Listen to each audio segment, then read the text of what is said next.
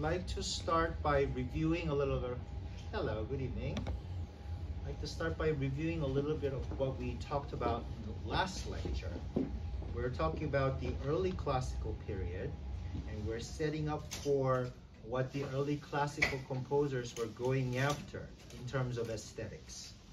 We're looking for the things that found beautiful. And this was a time in which music tended to sound rather superficial. Superficial meaning outwardly beauty and immediate effects of feelings. But these feelings which are stylized, stylized meaning that it's not necessarily deep within its meaning, it's rather, I'm sad, I'm happy. Sort of something that is acted out. Um, this was also the time of aristocrats. Do, does everyone understand the word aristocrat here? Yeah, it means the nobleman, the, the status of noblemen in Europe.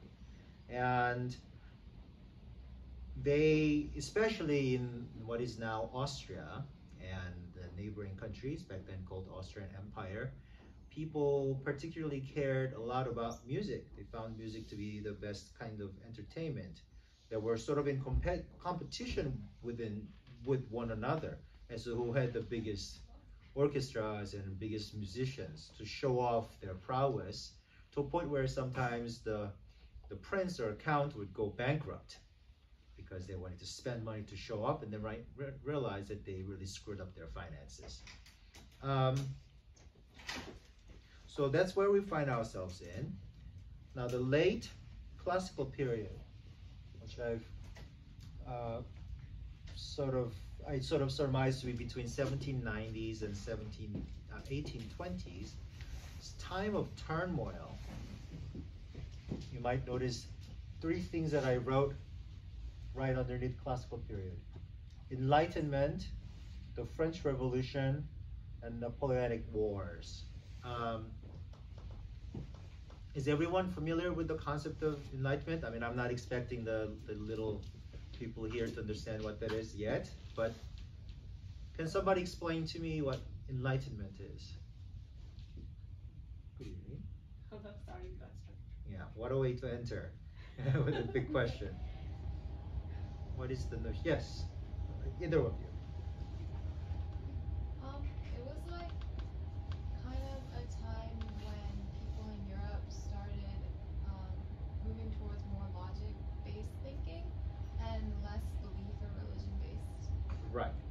So religion was very powerful in its grip, you know, so much so that the, the demarcation of Protestant church and the Catholic church were very clearly felt culturally, as well as well as, uh, and, and the border still stays. Um, and this was starting to break down, and with that became the notion of well, I mean, kings have been saying we have the God-given power over these people. We have the right, as the divine di- dictated us, to rule over these people. But now that people are less inclined to believe this, there was a notion that, well, princes and counts and kings, what are they good for? Are they really necessary? Scientifically speaking, they also eat. They also have to go to the bathroom. They're still humans. Why do you have to listen to them? And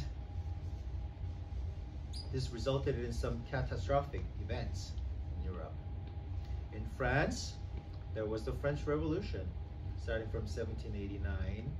The French people revolted, demanding that their miserable lives be corrected. And King Louis XVI, of course, tried, but not hard enough because he was enjoying his vanities too much to simplify. And that resulted in eventually people really revolting and overthrowing the, the, the king and the queen, which resulted in their execution. And with that uh, ensued a whole bunch of more executions of wiping out whoever was either part of the aristocracy or part or accused of being an aristocrat. Um, this was a huge deal. And for the neighboring countries, a very scary thing. You know, let's not forget that Marie Antoinette, the Queen of France, was the sister of Joseph II, Emperor of Austria. And there was a great deal, even though Emperor Joseph II was a man of enlightenment, in fact, he was a member of the Freemasonry and he, he, he advocated for science, even though he also assumed to be the head of the Catholic Church in the Austrian Empire, confusing. Um, he didn't like the fact that his sister was executed and didn't want the same thing to happen to him. So there was a great deal of controlling of society, a great deal of tightening uh, of weeding out any rebellion. Uh, springing forth, we, we see the dates 1803 to 1815.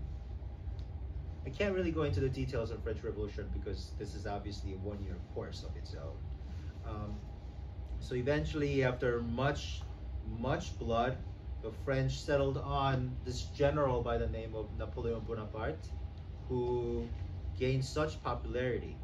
And eventually, it leads to him crowning himself the emperor of France, which is ironic, of course, because that's exactly what the French people didn't want. But in the end, it became an empire, and with empire had had empirical uh, ambitions, which was that Napoleon conquered entire Europe, and for a while he was quite successful. Um, Austrian Empire, for example, was annexed by the French, um, and they really advanced all the way up to Russia, but always with Russia, invading Russia is a whole task that shouldn't be taken lightly, which Napoleon did, and that resulted in much defeat, which eventually brought forth Napoleon's demise, and that ended the Napoleonic War. So as you can see, there's a great deal of confusion in the society. I mean, for, for about 20 years or so, the whole 20, 30 years, the entire continent is in turmoil. And this is where we find our main subject of the day, Ludwig van Beethoven. Um, Beethoven was, of course, by the way, is, is there anyone in this room that hasn't heard of the name Beethoven before? Just to make sure. Okay, good. Beethoven, of course, is the most influential composer in the Western European world. Um, his presence has left such such a print that still to this day I don't think a composer could possibly have the guts to say that I have no influence from Beethoven. Beethoven has left such an imprint.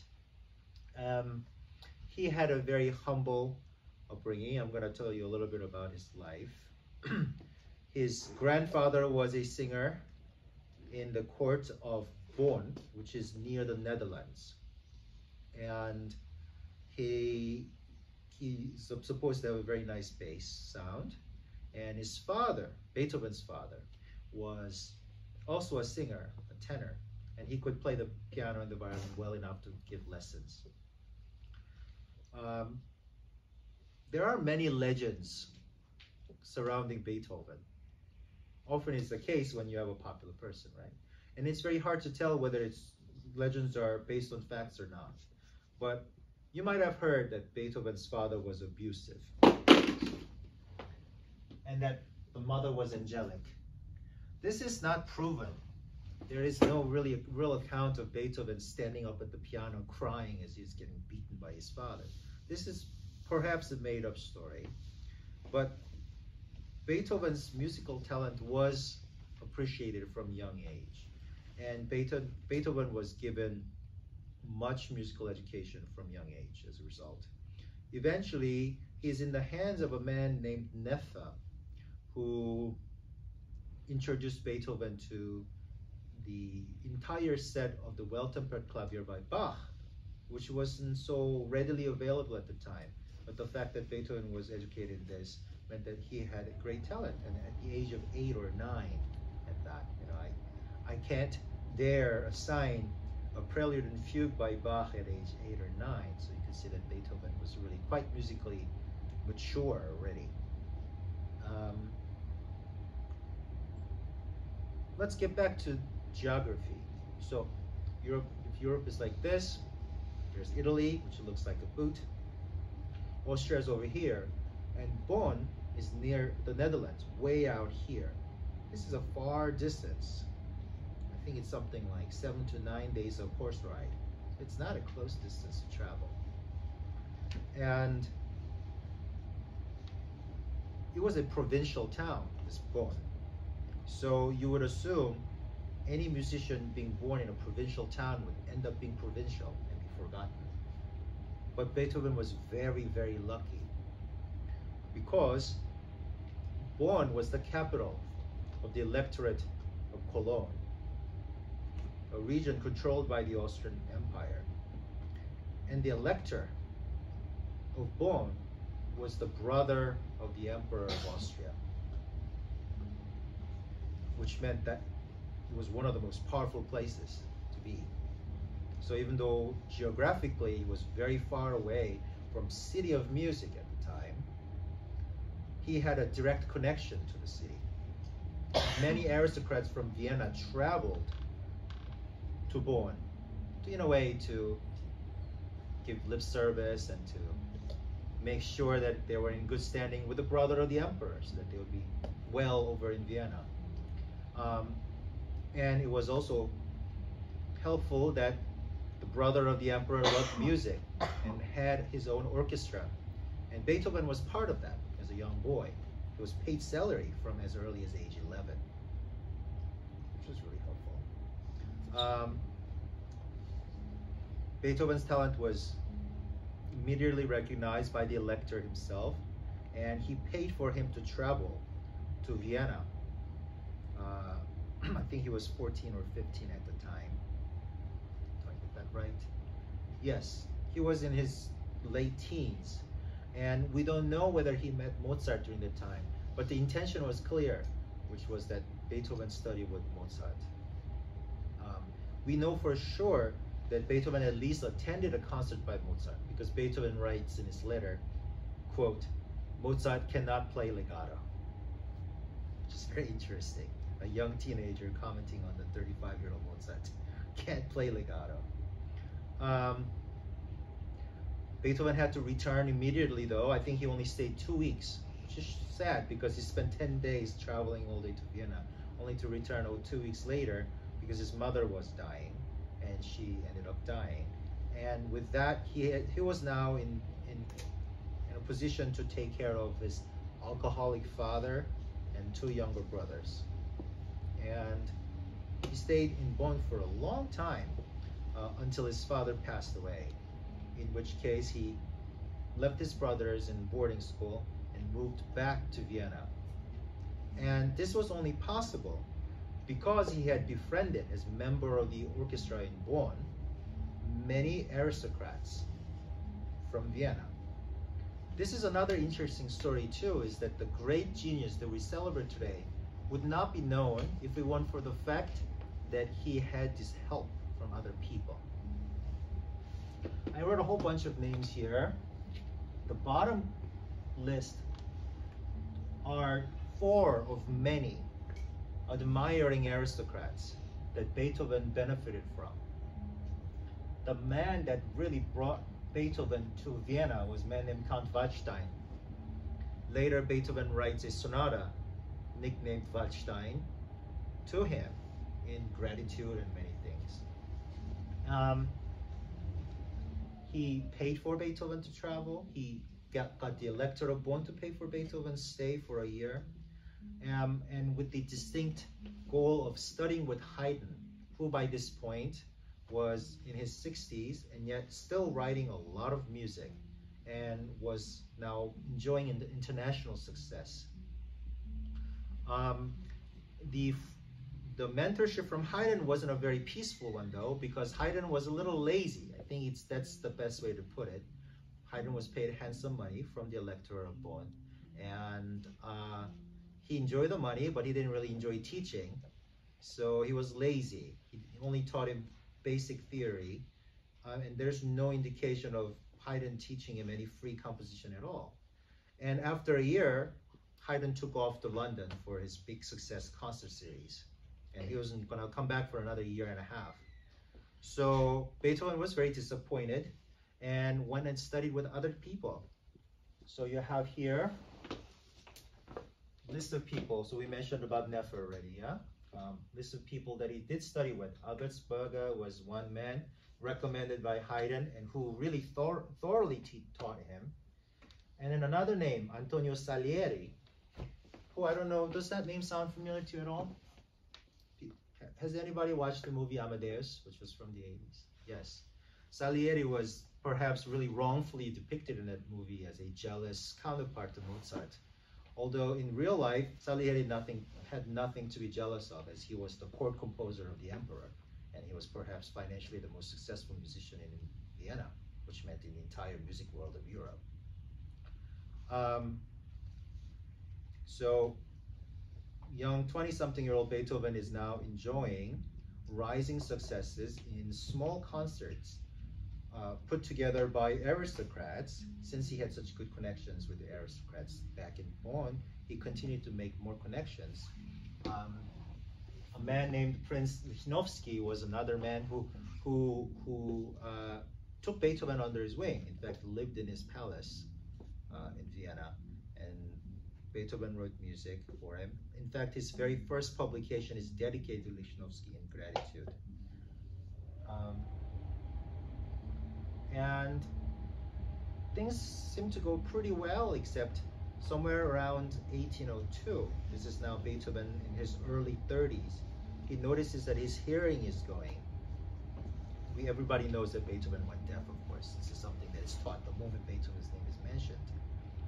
Um, and Beethoven really mourns this because he he's a very competitive fella And he thinks, I can't tell people that I'm going deaf because then what would they think of me as a musician? All my enemies will think of me, you know, in such a way, such a despicable way, and I don't want to be embarrassed. So over the next few years, he withdraws himself more and more away from the crowd. Um, think in 1804, I might be getting that date wrong, he writes this very dramatic letter called the Heiligenstadt Testament. Heiligenstadt is a suburb of Vienna where there's a very famous hot spring, hot spring, and he was trying to cure his illnesses there of no avail. I mean, taking hot bath isn't going to help your deafness. Um, where he writes a long letter to his brothers talking about this illness and how it's plagued him and how embarrassed he is. And then for a while he contemplated dying, committing suicide. But that he has now overcome this thought and he's going to die whenever God calls him. But until then, he will try in his best to fulfill what has been given to him, which is this gift of music. Um, and from that point on, his music turns. You see, up to this point is what we call his early period, which was sort of the continuation of the tradition of Mozart and Haydn, this light-hearted classical aesthetics. But from 1802, as he's becoming more withdrawn, and as he's struggling more with his health. And not to forget that he's also struggle, struggling romantically. Uh, he's finding himself more and more lonely and being rejected by those he love, he loves. Um, he is starting to have a new rhetoric in style, which is rhetoric of heroism. This feeling of struggle followed by victory. And this is found again and again and again in most of his sonatas written between 1802, roughly speaking, leading up to about 1815. Everybody knows the Fifth Symphony. Yes, it's the This is a classic example of the middle period, the first movement being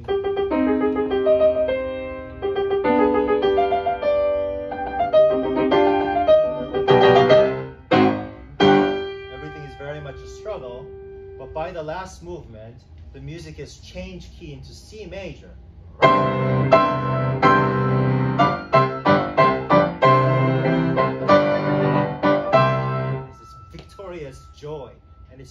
Moments of absolute frenzy of joy. Um, and this was rather unusual for the classically uh, uh, um, exposed people, right? Music was supposed to be lighthearted and entertaining, and then here it was very dramatic and and almost difficult to hear, very personal, and so it's worthy of note, by the way. I'm withdrawing myself here for a second. That even though we celebrate Beethoven so publicly, in his lifetime up to this point, Beethoven isn't really a public figure. That's another thing to, to that I think we, it's worthy of mentioning.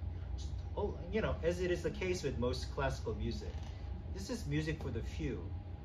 Beethoven is generally writing music for the aristocrats who were well versed in music, who loved music, who loved to pour money for music, who themselves played instruments, who themselves would have become professional musicians if it weren't for the curse that they were born into aristocracy.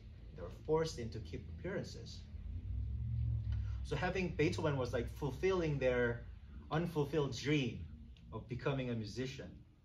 Razumovsky, for example, who was a Russian diplomat uh, deployed in, in, in Austrian Empire, was a very accomplished violinist. And he, in his palace, uh, had three other musicians always available, one violinist, one violist, and a cellist, so that he could play string quartets together every day.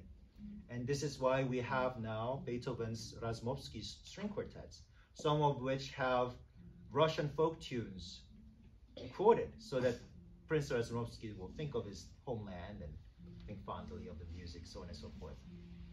Um, so the music was written specifically for a highly musically educated upper echelon. And these symphonies were also the same case. They were written really for those small group of people. I can't emphasize it enough. Anybody who tells you otherwise isn't really telling you the full story. Um, I believe in his life, Beethoven only had a handful of public concerts that he gave. The notion of public concerts for general public wasn't really around. Concerts were really for those who could pay for it.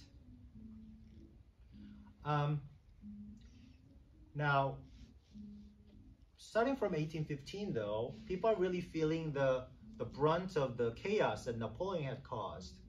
First of all, many of the aristocrats that did pay for Beethoven's life either died or went bankrupt because Napoleon had destroyed their country um, and was no longer willing to pay for Beethoven's day-to-day expenses. And even though Beethoven was making a lot of money with his publications, which Beethoven was very keen on doing, first musician to publi publish his music very actively, to a point where he had six and seven publishers fighting against each other to try to get the best rate from Beethoven. Um, Beethoven needed some sort of security. And this was the brief point in his life between 1814 to 1816 where he does try to write music meant for public. This was time he wrote his opera Fidelio, the only opera. This was time that he wrote perhaps not so not so great work by him, I must admit, called the Wellington's Victory, written to celebrate the victory of General Wellington against Napoleon. Really a hack piece, if I must tell you, but it was incredibly popular. Um, Ruins of Athens, another piece for the theater. So about this four years period was when general public knew of Beethoven. And this is these were the pieces that we actually, I mean, how many of you do know this tune by Beethoven?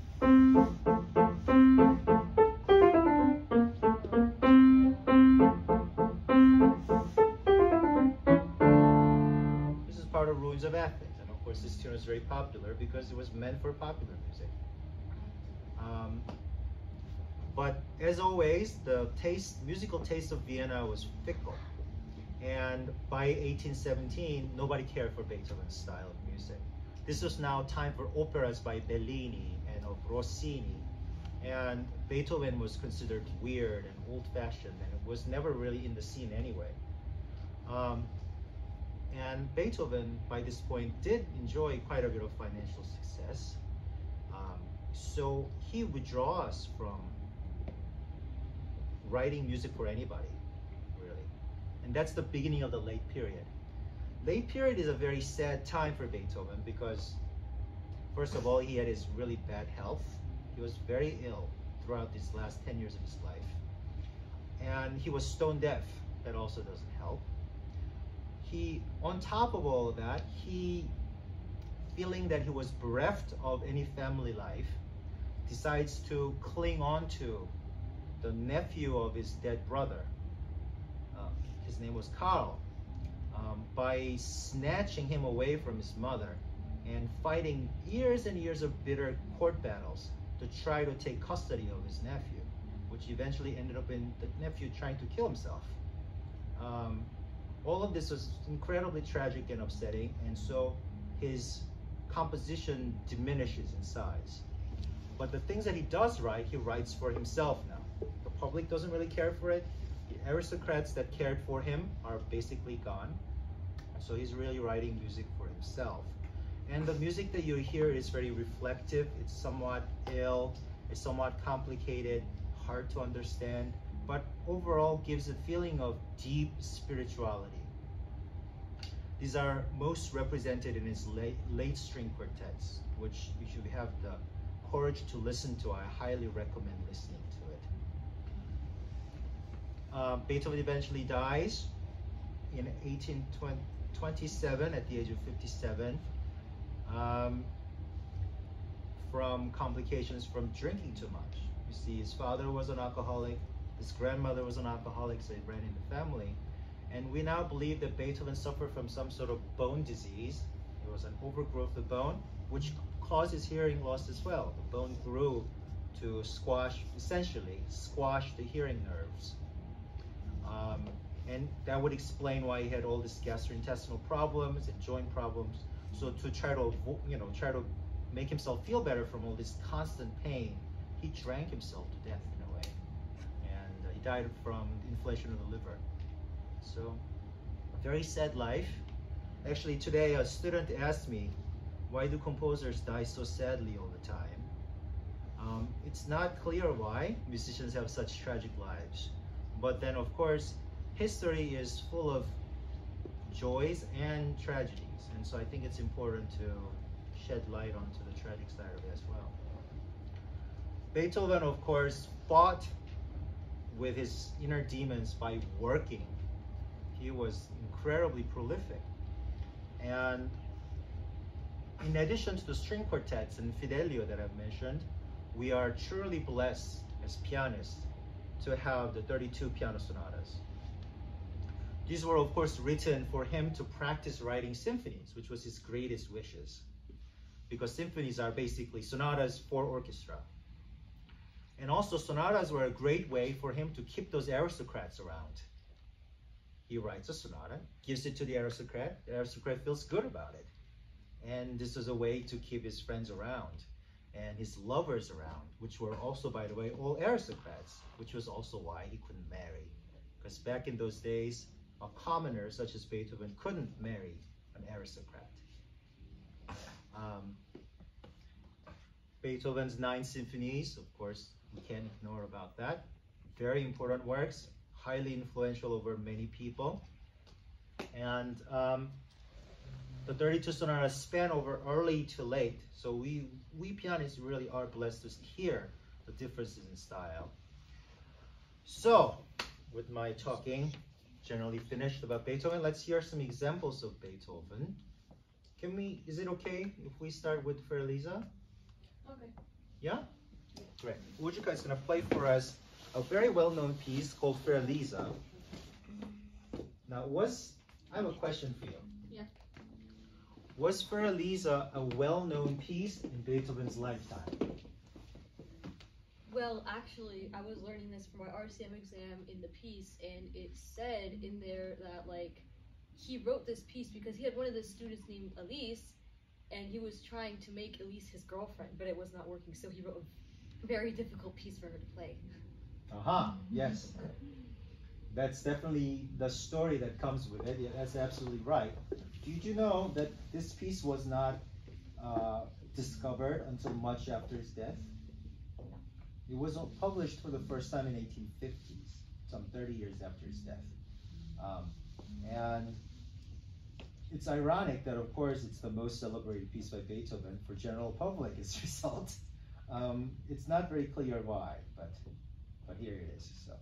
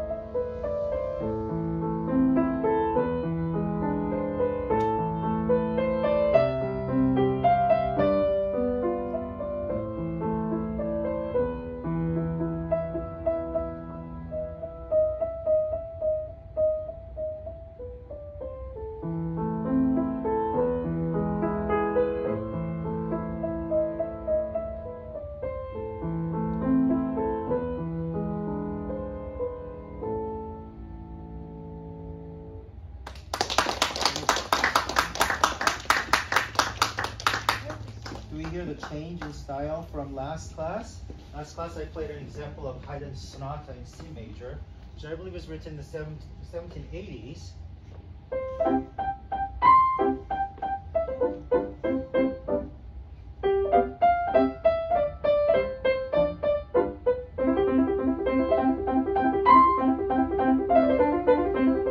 So on and so forth. Where everything is very lighthearted and happy. And then here it is, just writing for some girl that he's teaching.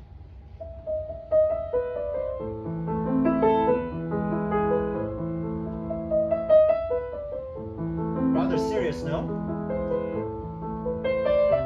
But I think this is a very good mixture of that transitional period between romantic and classical.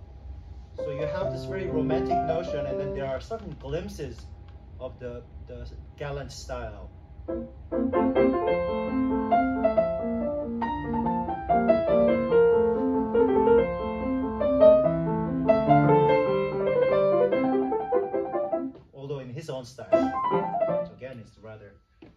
S- high strung. Beautiful, thank you. I think this was written in 18 teens, which would have meant that it was 1810. 1810. Am I right? Yeah, 1810. That would make him 40 years old, quite deaf, I think, um, but not completely. I- If I remember correctly, he performed until 1814. Um, although by that point he was only accompanying people, he wasn't playing solo performances anymore, as he couldn't hear enough to feel good about his own playing. Um, beautiful, thank you very much. Now let's uh, invite Myra to play for us the first movement of the what we call Pathetique Sonata.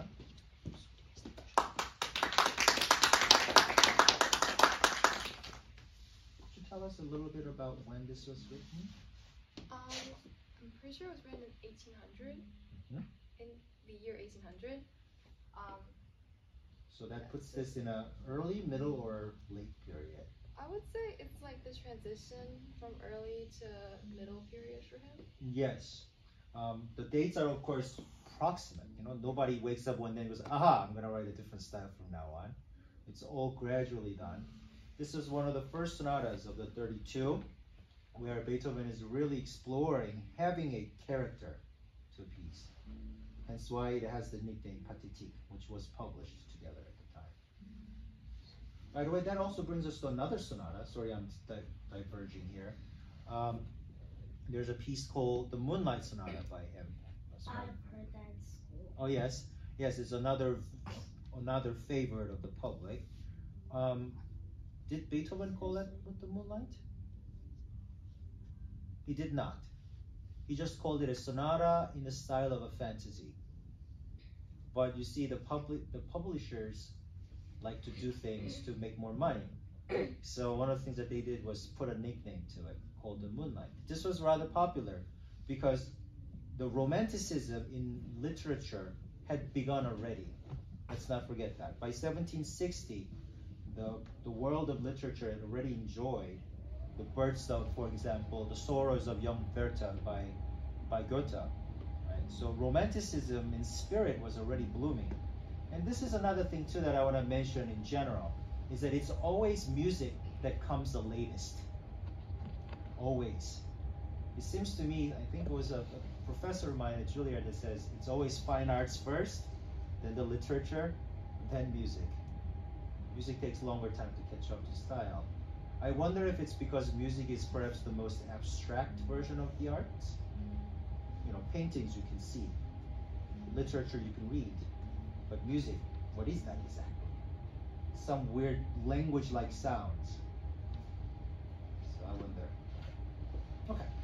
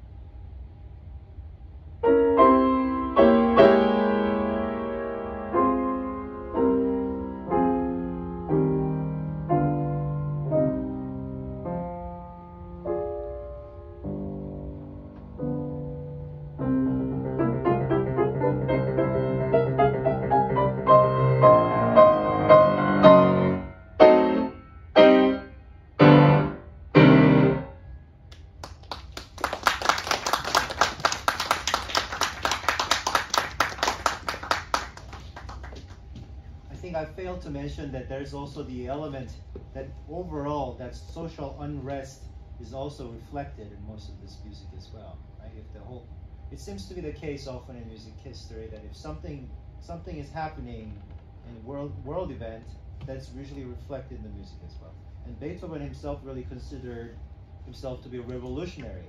He sympathized with with those who who rebelled against the aristocrats, which is hilarious because, of course, he was living off of the aristocrats at the same time. That makes him quite a hypocrite. But, um, for example, I remember, I think it was John Eliot Gardiner, a very well established conductor, who mentioned that the first four notes of the Fifth Symphony, which I demonstrated earlier, uh, is reminiscent of a very well known French revolutionary tune that the revolutionaries were singing as they were storming the streets. Um, whether that's true or not, um, perhaps more research is necessary, but it's highly possible that Beethoven was very much taken by this.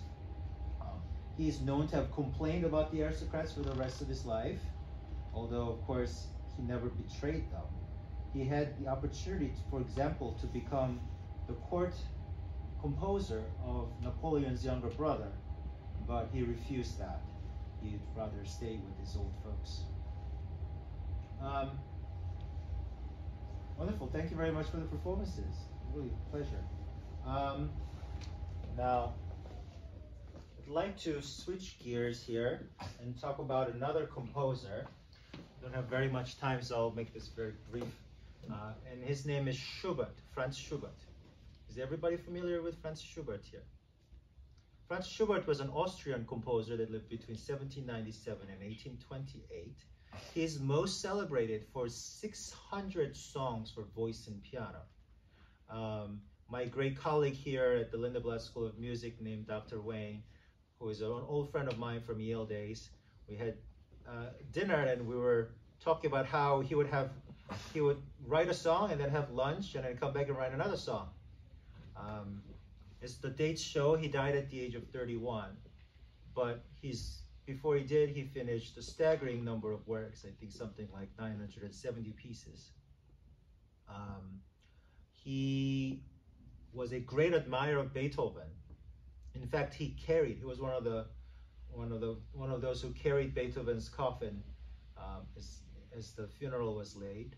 Of course, only to find out that a year later he himself would be buried right next to him. Um,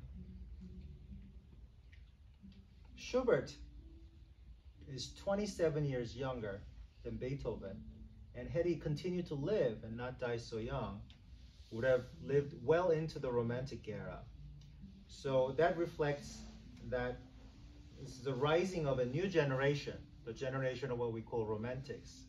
But because Schubert never saw the days of the Romantics. He stayed most, for the most part, with the standard aesthetics of the classicism.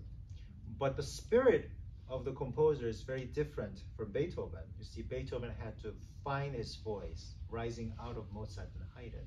But Schubert found himself very comfortable expressing his feelings, uh, speaking of his inner feelings into his music from early on probably also because he wrote so many songs, which often tell a story.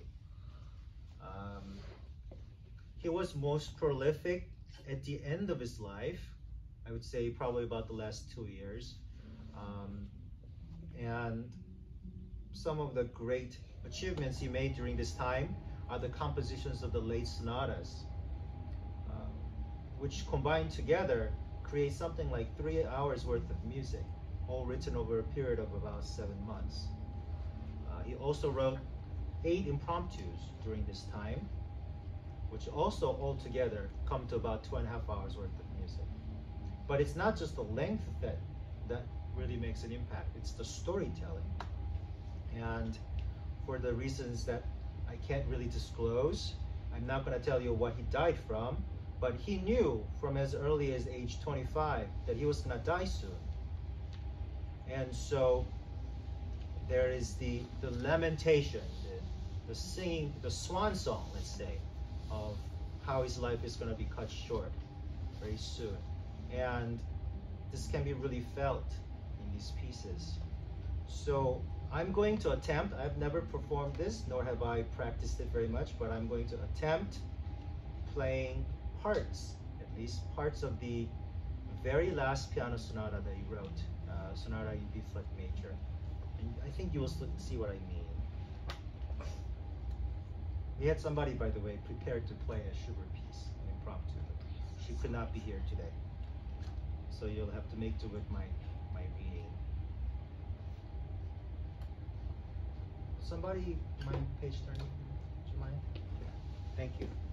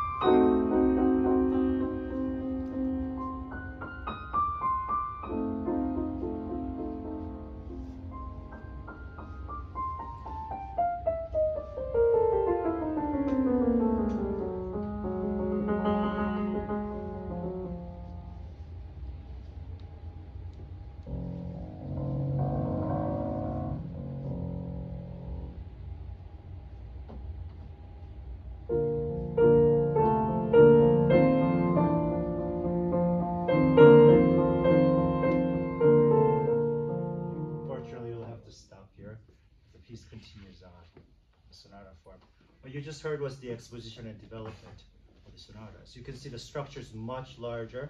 The storytelling is much more spread out. It's much more emotional and deep. It definitely is incredibly tragic. I mean, a, a student of mine asked if a major key could be tragic, and certainly this is the case where a major key could be utterly tragic. Um, so I hope you will have, in your own interest and curiosity, exploration of Schubert as well. Great composer that died too young. Thank you very much.